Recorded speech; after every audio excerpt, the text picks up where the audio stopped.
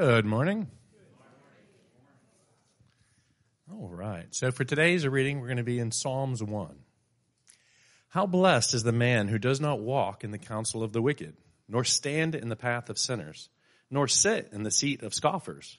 But his delight is in the law of the Lord, and in his law he meditates day and night.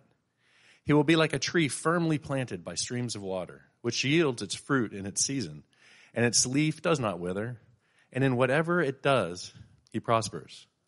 The wicked are not so, but they are like chaff, which the wind drives away. Therefore, the wicked will not stand in the judgment, nor sinners in the assembly of the righteous. For the Lord knows the way of the righteous, but the way of the wicked will perish. Let's go to prayer. Dear Lord, we come to you in Jesus' name, and we just thank you so much for our opportunity to be here together as fellow believers, as the church, the family of God, to sit here and learn and worship together. We pray that you're with us in the service today in all aspects, that you reach us where we need to be reached, that we remember each and every day how just wonderfully blessed we are that you care so much for us, even though there's really no reason you should or, or, would even want to most of the time.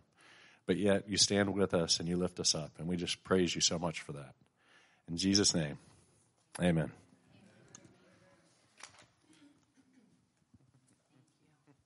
Amen. God is the strength of my heart. You know, he had better be because my strength isn't going to cut it. Especially in this world that we live in. How to live godly in an ungodly world? Indeed, that is the question for us today. You see that God's Word, God's Word is the same today and applies as much today as it has ever had in the past. But look around, open your newspapers, read the news. The world has soundly rejected it. Many in today's world, believe it or not, many there are many today. Uh, they uh, they understand the authority of God's word in the world. Uh, the problem is they um, they just don't agree with it.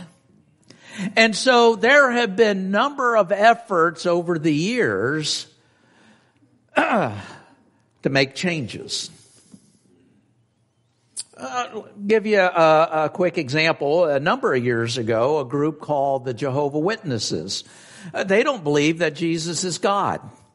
So they came out with what they called the New World translations, and they change a few key words here and there to suit their narrative.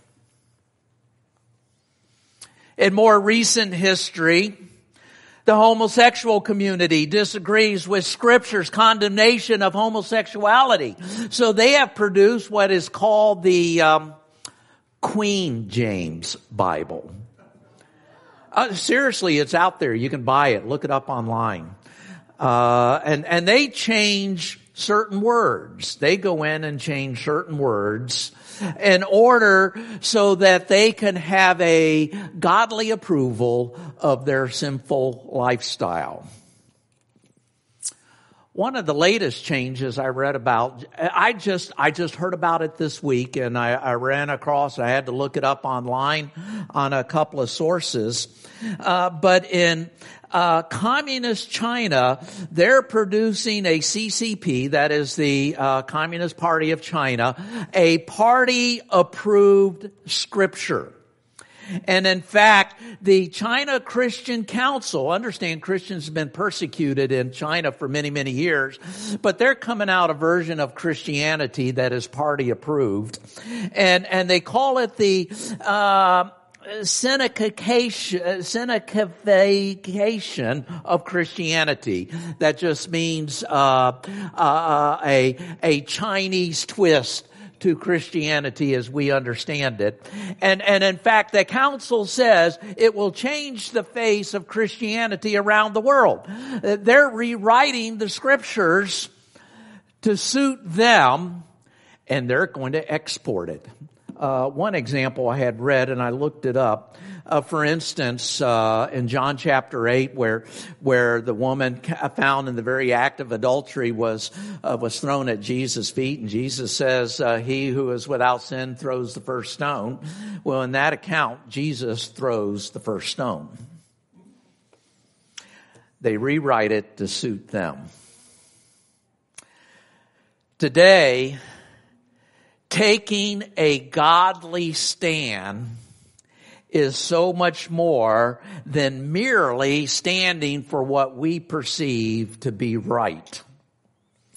It is standing up for the time, uh, for the timeless and unchanging truths of God's Word. God's Word does not change. And to make a godly stand, we stand with the Word as it was written. And most reputable translations that we have today that you hold in your hands, it, the truth is there. We need to be careful with some of the more modern translations coming out that are trying to be gender neutral and a few other things. We've got to be very, very careful. Hmm? We have to understand God's word as it was written and as it was translated by godly people. I, I see a new translations. I, I go, I, I, go up here to the front where the forward is and it talks about the translation philosophies and I look at the names of who were on the translation committees and, and the godly and conservative seminaries that they were from and so on and so forth. I try and get an understanding of who made the translation. We have to be very careful. Over the next few weeks, we're going to be looking at examples of t- making a godly stand in an ungodly world from the Old Testament book of Daniel. And the stories in Daniel, though we need to understand that they were written uh, about 24, 2500 years ago, they're relevant today as they were at the time that the events occurred. Today we're going to look at chapter one of Daniel. The basic story centers around in Daniel 1 about the deportation of Israel into exile into a foreign land called Babylon. According to scripture, there were actually three deportations. The first deportation was in 605 uh, BC. And this was the deportation that Daniel and his three friends that we'll read about uh, were involved in.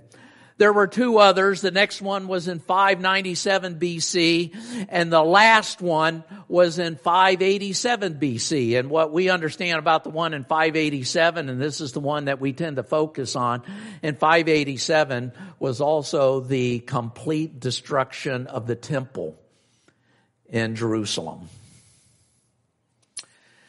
We're going to cover the whole chapter, but for right now, turn in your Bibles to Daniel chapter 1. Daniel chapter 1. I just want to read for you verses 3 through 8 so you can catch the crux of where we're going today. Daniel 1 verses 3 through 8. Then the king ordered Ashpenaz, the chief of his officials, to bring in some of the sons of Israel, including some of the royal family, and of the nobles, youths in whom there uh, whom was no defect who were good looking showing intelligent and every branch of wisdom endowed with understanding and discerning knowledge who had the ability for serving in the king's court and or and he ordered him to teach them the literature and language of the Chaldeans the king appointed for them a daily ration from the king's choice food and from the wine which he drank, and appointed that they should be educated three years, and at the end of which they were to enter the king's personal service. Verse 6. Now among them were, among them from the sons of Judah were Daniel, Hananiah, Mishael, and Azariah. The commander of the officials assigned new names to them. To Daniel, he assigned the name Belteshazzar. To Hananiah, Shadrach. To Mishael, Meshach. And to Azariah, Abednego. Verse 8. But Daniel made up his mind that he would not defile himself with the king's choice food or with the wine which he drank. So he sought permission from the commander of the officials that he might not defile himself. Let us pray. Heavenly Father, Lord, as we look at the example that Daniel sets for us, Daniel and his friends, Lord, may we be like Daniel. May we stand up for, for what, for what is holy before you and be unwavering in a world that is diametrically opposed to you. Lord, open your word to us now. Lord, grant us understanding uh, in our hearts and in our minds. And may Jesus be glorified in this place today. For we pray all of these things in the holy and precious name of Jesus.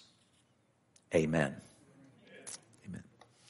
Number of years ago, George Shultz, I don't know if you remember that name, but when he was Secretary of State under the Reagan administration, he, uh, and I brought one from my office today, he kept a large globe in his office.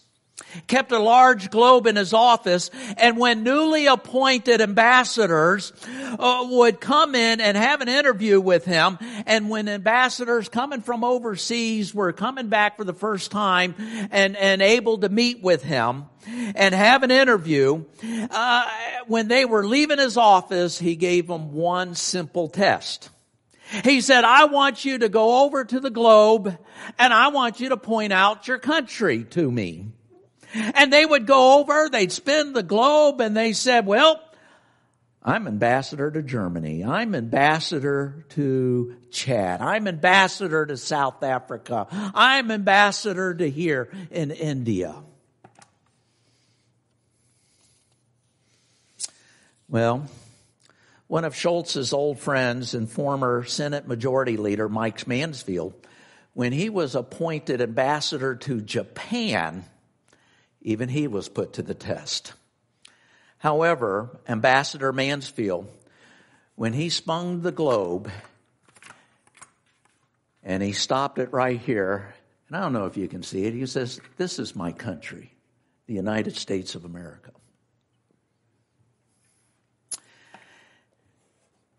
And Shultz was relating on a, on a television show, uh, C-SPAN book notes. He said, I've told that story subsequently to all ambassadors going out. Never forget that you are over there in that country, but your country is the United States. And, and, and you are there to represent us. You are there to take care of our interests. And never forget it that you are representing the best country in the world.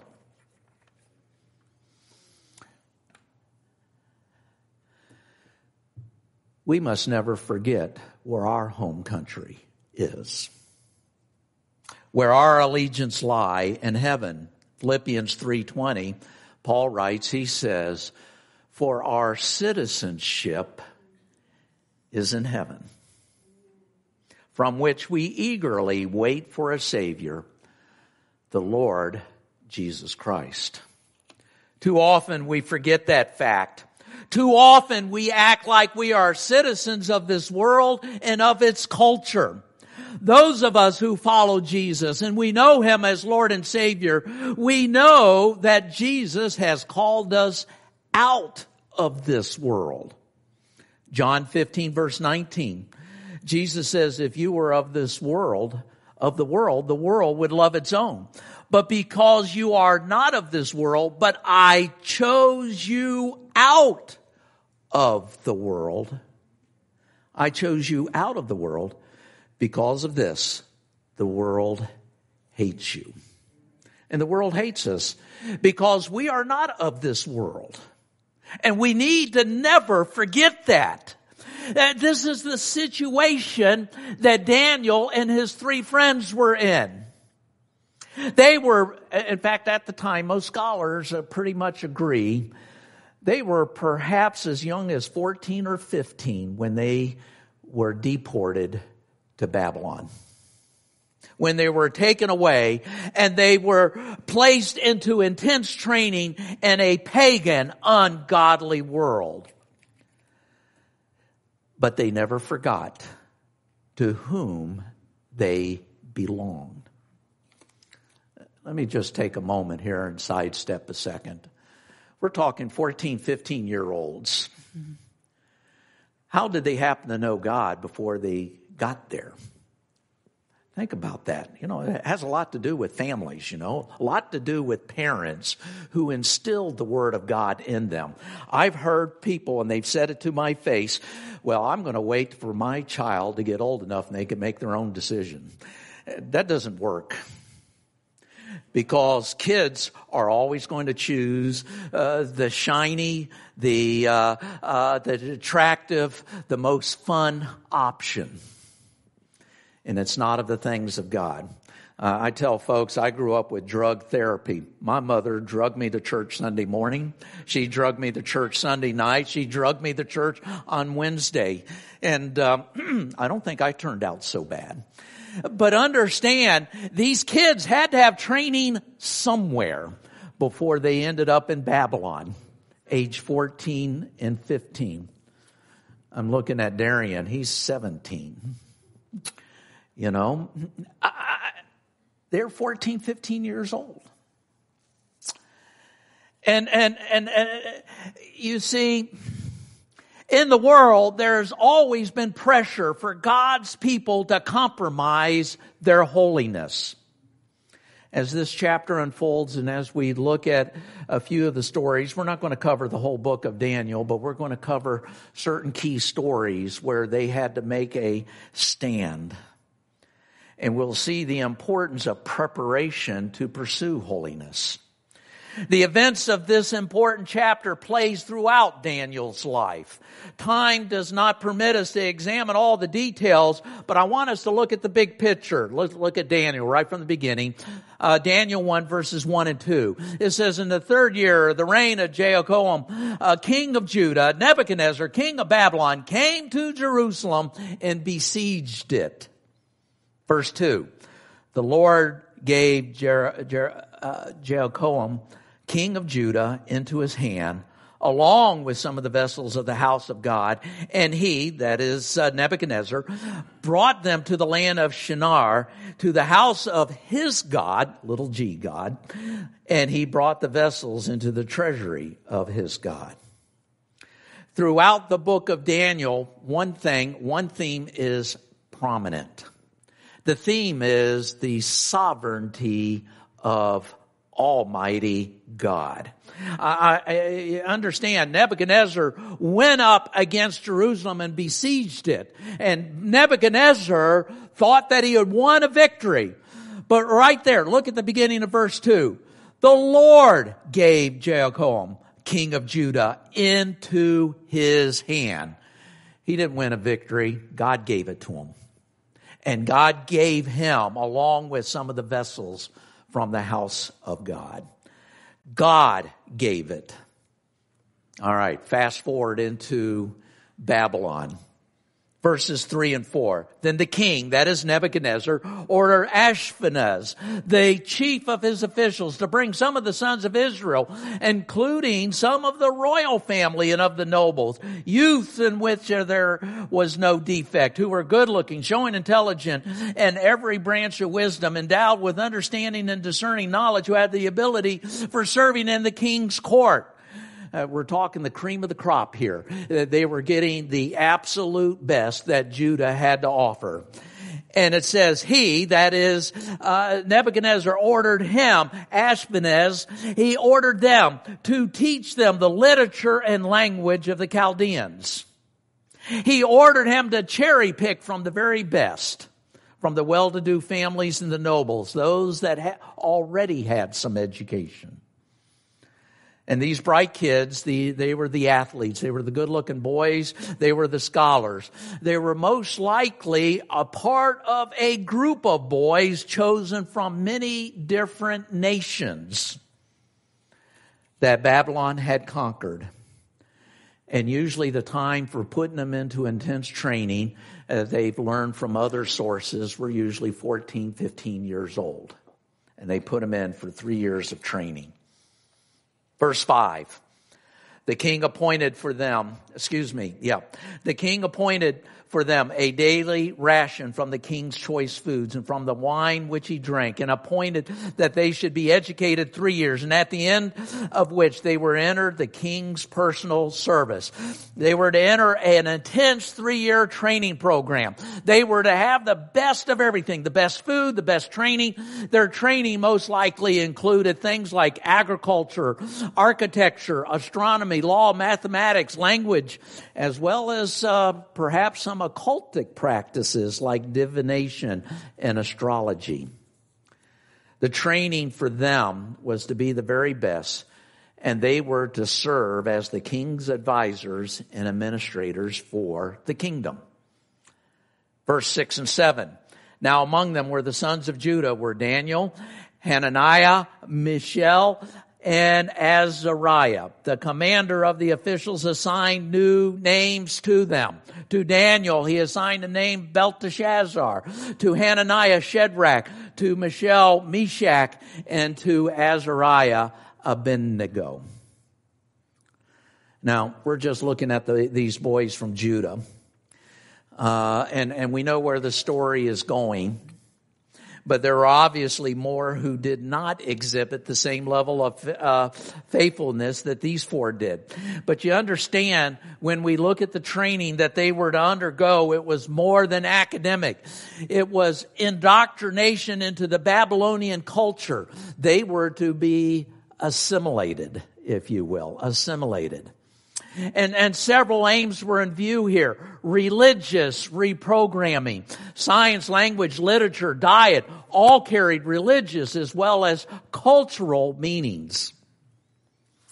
First of all, let's look at their names. All of them, all four of these boys had godly Hebrew names. And, and, understand when we look at names in the Bible, those names that are ending in EL, like Daniel, uh, EL would stand for uh, uh, Elohim or God, if you will. Elohim in the, in the Hebrew. And names ending in IAH, like Hananiah, means Yah, as in Yahweh. So Daniel, if we look at it in the Hebrew, Daniel means God has judged. Hananiah means Yahweh is gracious. Mishael means who is what God is. Ask the question. And Azariah means Yahweh has helped. Their Babylonian names reflect the religion of that culture. Daniel was given the name Belteshazzar. We read that name several times as we go through the book of Daniel. And, and, and, and that first part, that Bel, B-E-L, uh, or it's actually, we read in other parts of the Bible, it means the god Marduk, but it means Bel protects the king. Shadrach means the command of Aku, Aku, which is the moon god. Meshach means who is what Aku is. Now, if we look at uh, uh, Meshach and Mishael, who is what God is, this is obviously perhaps a take on his original name. But who is what Aku is? And then Abednego means the servant of Nebo or Nego, which is the second highest God in their uh, litany of gods, if you will. You see, they attempt tempted to obliterate any testimony to the God of Israel. Their indoctrination into that pagan culture included everything. The Babylonians were out to change their thinking to change their world view, their view of man, their view of God, their view of what even right and wrong is about. They were out to change their worship and they were out to change the very way that they lived. We look at today and we have certain indoctrinations going on in our schools. We have indoctrination all around us throughout our social media. You know, we were talking about Facebook the other day. You never sit down on your phone and look at Facebook for 30 seconds. You start looking at your Facebook and then 30 minutes has passed before you realize what happened. You know, we're indoctrinated. There's all kinds of stuff. Well, there's some godly stuff on, on Facebook. Well, that's true, but I've seen some very ungodly stuff and, and, and, and a lot of stuff that it, we wouldn't say it's ungodly, but they're, they're, they're pushing you to one side. You know, there are different things. We, we got our social media. We got what's on television. Do we realize the ungodly influence that comes through our living rooms, you know? Uh, we got what's on the computer. We got going to the movies. Uh, uh, and they're all telling us how to live our lives. And they're instructing us in the new definitions of what's right and wrong. Then we come to verse 8. Verse 8. But Daniel. Boy, I love these parts in the Bible where they start with but. Now we're, we're, we're shifting gears here. But Daniel made up his mind. I like the King James. It, uh, it, it says that uh, Daniel purpose in his heart. I mean, think about what that's saying. Uh, uh, he made up his mind. He made a gut level decision. Okay. He said, uh, uh, this is what's going to happen. He made up his mind that he would not defile himself with the king's choice food. Now, why did he pick just the food versus all of these other things? Well, you got to draw a line someplace, okay?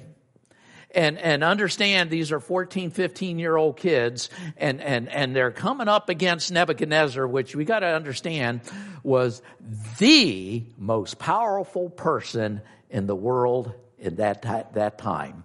And you know uh, Nebuchadnezzar can say off with his head and guess what happened? Their heads were off you know, uh, those who, who said lives, live. Those who said he dies, dies. They were up against him. And, and they said he would make up this, uh, uh, his mind that he would not defile himself with the king's choice food or with the wine that he drank. So he sought permission from the commander of the officials that he might not defile himself. Daniel and his three friends, they were de- de- determined not to compromise. Uh, uh, and when they look at the food, especially the meat, under understand coming from a, a Jewish background, there was a lot of food that weren't kosher. You know, they ate horse meat, they ate uh, pig, uh, uh, and and that they couldn't go there. But most of all, most of the food, especially the food that came from the king's table, they were all dedicated to idols. Now, if you go over into 1 Corinthians chapter 10 and 11 and read through there, uh, that was not a new thing. Uh, the, uh, Paul was dealing with food that were de- uh, dedicated to idols in the, in the town of Corinth. And he was talking with them about that. But understand the foods that were dedicated to, uh, uh, to pagan gods, including the wine. Now, when we look at the wine, they probably drank wine straight. And in the Bible, that's called strong drink. And, and, and Jewish culture, generally wine was diluted anywhere from four to one to seven to one. They, they, uh, essentially wine became a flavoring because the water is bad. But, but, uh, but here it was probably more than the alcohol content. It was the fact that it was dedicated to idols. And so this was a courageous act that he was starting uh, to venture on. And at first glance, the request seemed simple enough, but the factors considered in this act of refusing the food, to refuse the royal diet would have been taken as an insult to the king and an act of direct disobedience to Nebuchadnezzar. Pressure from Daniel's peers Think about that. They were among a group of folks being educated. And certainly peer pressure made it more difficult. I mean, everyone's doing it. I hear that from my kids. Everyone's doing it. My mom used to say, well, if everyone jumped off a bridge, would you go along with them and or jump off a cliff? And probably so, but that's that's another story. But understand everyone is doing it. And by choosing this course of action, Daniel and their friends were setting themselves apart from others. They were different, they were strange. Therefore, they might have been shunned, if you will. And number three, such unorthodox behavior could jeopardize their chances for advancement. Think about it. You know, you want to be, move up with your peers and everything else, but you don't want those strange folks moving up, do you? And then there's the temptation about the quality of food. You got to understand the food that they were presented with was the absolute best in the land. And they were refusing some scrumptious diet here. And so there was the temptation that they had to deal with. And, and, and their new location, there they are in Babylon, away from family, away from their homelands. You know, Judah was 900 miles away, straight line understand that they had to go almost 1,500 miles, almost 2,000 miles by the way they had to get there. But straight line distance, they were about 900 miles away. And, and they're away from family and friends who would never know whether they kept God's laws or not. But at least they were very acutely aware of one fact. No one else would know, but they knew God would know. God would know. And they also knew that one day, everyone, everyone, we've talked about this here, everyone, uh, whether you're condemned or whether you're Christian, everyone will give an account to Almighty God. Everyone will give an account. And then, and then another thing that a trap that many people fall into, it's natural to argue since God had not protected them. I mean, after all, they got hauled off in the captivity. They were kidnapped from their families, if you will. And, and they were in this horrible situation. And since God didn't protect them, they didn't have to be careful to obey his commandments. They could have become bitter towards God and said, God hasn't been done good to me. I won't do good for God. How many people fall into that trap? God has been, you know, I've been angry with God. Why should I follow him? All of these factors cause many people to compromise their faith, compromise their holiness before God. But Daniel and his friends, they, as I said, they made a gut level decision to remain faithful to their God no matter what. Now, God's at work here too. They honored their commitment to Him. In 1 Samuel 2 verse 30, we read where God says, it says, now the Lord declares, far it be, be it from me, for those who honor me, I will honor, and those who despise me will be lightly esteemed. And so we move over to Daniel 1 verse 9. We read, Now God granted Daniel favor and compassion in sight of the commander of the officials having made the determination to be faithful, they weren't arrogant about it. I know there are people today, I've seen some folks today, they came out of bad backgrounds, but then they carry their big black Bible and they're ready to thump the world on their heads with their big black King James Bible. Bam, we're going to, you know, we're going to, you know, these boys were not arrogant.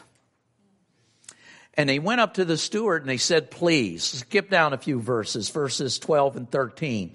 And it says, please, please test your servants for 10 days and let us be given some vegetables to eat and waters to drink. I think the King James, if you got this, says pulse. Uh, that just sounds unappetizing. I think if I had nothing but vegetables to eat, I'd probably starve to death, but, uh, And he says, then let our appearance be observed in your presence and the appearance of the youths who are eating the king's choice food and deal with your servants according to what you see. You see, vegetables or pulse, we're talking about food that was grown from the ground, from seeds. That includes grain. So they probably had some bread. But none of these things would have been sacrificed first to a pagan idol. So they basically had a vegetarian diet. In the passage, as you read down through, I'm not going to cover it, but it says they looked way better than the other folks. They looked better than the other youths. And then look down at verse 17. As for these four youths, God gave them knowledge and intelligence and every branch of literature and wisdom. Daniel even understood all kinds of visions and dreams. We know about that. He didn't go to divination. They didn't tear open a sheep and examine their livers, which was the custom of that day. Uh he didn't, didn't, go to the occulted practices. God gave him uh, the ability to interpret dreams. It came straight revelation from God. And you read about that, especially as you get into chapter two of Daniel. You know, one thing, and, and it just occurred to me, people say, well, there's not modern day Daniels. There's things like this doesn't happen to modern day people. Uh, he's not here with us today, and I'm going to mention him by name. We had a young man in our congregation up to a couple years ago by name of uh, Jess. How many of y'all remember Jess? Jess was in the Air Force. He was an air traffic controller. Uh, he was sick for the first year he was here, and he couldn't even do the training. Uh, all the people there in his shop, very ungodly radar shop there, and they made fun of him because he stayed true to his Christian commitments. You know, he wouldn't go hang out with certain girls. They wouldn't do the drugs or the drinking, if you will. And they made fun. He used to come and talk with me. Uh, because I'm being ex Air Force and I understood the flying environment, I understood air traffic control, so he could talk with me and and he would say, I don't know what to do, and all I could do is encourage him to hang in there. When he left here two and a half years ago, they begged him to stay. He not only excelled, and I believe God, because he chose to first honor God, God honored him. He became the number one guy. He was the supervisor of everything that happened in that radar uh, uh, thing. He was a. He, uh, there was all kinds of qualifications. There's a lot of things that went on, and and he was their number one trainer, if you will, not trainee, trainer. Uh, he uh, there was all kinds of things. They begged him to stay. Uh, which, by the way, just a quick update on Jesse. He is fully qualified in the Minneapolis uh, uh, approach radar facility up there, uh, doing very well. And he's getting married in May, this upcoming May. And he asked Ellen and I to come up and for me to marry him. Uh, Jess was very special here. Understand, Daniel's happen today to those who honor God first.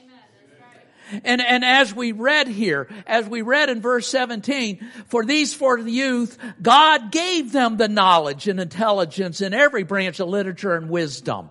They stood out from the rest of them. Look at verse 18, 18 to 20. It says, Then at the end of the days, which the king has specified for presenting them, the commander of the officials presented them before Nebuchadnezzar. Nebuchadnezzar, understand, he was no dummy. He was well learned. He was well educated. He was a, a, a way smarter than average guy, if you will and he knew what to ask. And he says they presented them before Nebuchadnezzar and the king talked with them. And out of them all, not one was found like Daniel, Hananiah, Mishael, and Azariah. So they entered the king's personal service. And as for every matter of wisdom and understanding about which the king consulted them, he found them ten times, ten times better Then all the magicians and conjurers who were in all his, his realm. In other words, they had coming out of training and they were better than the guys who had been doing it for years. In fact, if you look at that last verse of Daniel 21, it says Daniel continued into the first year of Cyrus the king. He continued in service for 50, 60 years, a long time. Now we'll read more about him later. But, but make no mistake here. Daniel and his three friends, I'm sure they studied hard, but God gave them the ability and they took that ability and they ran with it. And God honored their faithfulness. Holiness came first. Holiness came first. They stood their ground. They determined in their hearts, they made up their minds that they would not be defiled. 1 Timothy 4 8, Paul writes, he says, For bodily discipline is only of little profit, but godliness is profitable for all things, since it holds promise for the present life and also for the life to come. Now, understand these guys got it made. Uh, not yet, not so fast. As we read, and you know some of the stories here. We know, and where we're going next week, chapter 3 of Daniel.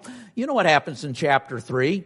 Shadrach, Meshach, and Abednego in the fiery furnace, they had some trials to come through. They still had to stand their ground. And, and over in chapter six, we read about Daniel being thrown to the lion's den. Eh, you know, we, we read about these things. We're going to talk about them. They still had to stand their ground. 2 Timothy 3:12 tells us, "Indeed, indeed, all who desire to live godly in Christ Jesus will be persecuted. You may be honored today, but somebody's coming after you tomorrow. And we have to stand firm always. Standing firm is not a, is not just a, a, a one-time thing. It is a continual day in and day out to stand firm. Are we ready to live a godly life regardless of what the world says and does to us? as I started off with, consider a moment the upbringing these boys must have had before they were taken from their families. Something of God had been trained into them before they were taken. And there was a love of God before all of this began. You know, hard times are coming. And the time to make decisions to stand fast and to stand firm is not when trouble hits us. It's before it comes. Because you see, when trouble comes, uh, we're in a fog. Understand? Uh, things aren't so crystal clear when bad things are happening all around us. But we can rely on the fact that we previously purposed in our heart, that we previously determined that we were going to stand for the things of God and the things that make us holy, regardless of what the world says. And I don't have to think about it because I've already decided. I want to read a quote that came from one of my commentaries. It says that in order to overcome the pressure to compromise our holiness, we need to have an adequate preparation to pursue holiness. We need to be bathed in the teaching of God's Word through parents and the church. Talked about folks this the other day. You know, uh, primary Christian training happens at home. We only reinforce it here in church. We need a life of abiding in the vine. Remember chapter 15 of John? I am the vine, you are the branches. We need a constant abiding in the vine, Jesus Christ. For apart from Him, the Word says we can do nothing and we'll find ourselves compromising. But when we dare to be a Daniel in a world full of compromise, we will discover the power of personal holiness. Being accepted into the king's service was just the beginning. But we got to remember what Jesus said. Jesus said over in Matthew 6, verse 21, he says, For where your treasure is, for where your treasure is, there your heart will be also. Uh, one of my commentators say, it's what you believe is how you act. What is the desires of our heart? Is our desires advancement? Is it money, fame, acceptance by the world? Or is it holiness? Is it honoring God Almighty? Can't have both.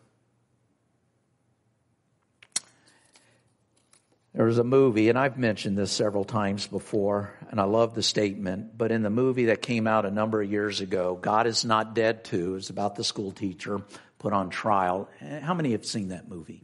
I know there's a number of folks who have seen it. But the, the main character, uh, the lead character, made a defining statement when she said, I would rather stand with God and be judged by the world than to stand with the world and be judged by God. With whom do we make our stand? And where are we making that stand today? You know, the thing about Christianity, it's not your best life ever. There are those in the world that had accepted Christ and things went for the worse because they're perse- being persecuted for the things of God. But oh, the rewards in heaven. Oh, the rewards, the things that we give up. The thing is, we got to be focused not on the here and now, but we got to remember where we're heading and the rewards that will come. And we will be tested here. No one said being a Christian would be easy. But isn't this, isn't this great that we can gather together? I get strength from coming here and being with you all. There's coming a day, mark my words, I'm not a prophet, I just read the scriptures. There's coming a day when gathering like this will not be possible. We need to be gathering our strengths together today. We need to be making our determination in our hearts and making up our minds today because the world won't be a fun place tomorrow. And it's easy to say all of this here and now. But there's coming a time, mark my words, not my words, mark the words of Scripture. There's coming a time when it's not going to be so easy, and we need to make a stand today.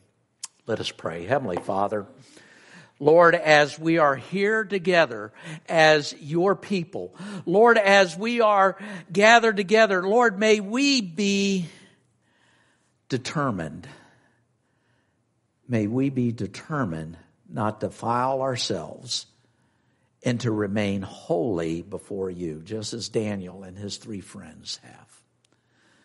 Lord, may we be a Daniel in the world in which you have placed us and may our hearts be pure before you. Lord, there may be someone here that realizes there is more to this life, and Lord, that it rests in you. And Lord, they have may, uh, whether they're here or they're listening online, Lord, we just pray that the sun not set without them coming to a saving knowledge about Jesus. For Jesus is not a way to you. Jesus is the only way. And may we come, and the rest of us come closer to Jesus. We need your strength, and we need your guidance, and we need your hand of protection. Lord, may we draw closer. May those who need to come know you for the first time, may you draw them today. Move among us. May Jesus be glorified. For it's in his holy name we pray. Amen. Amen.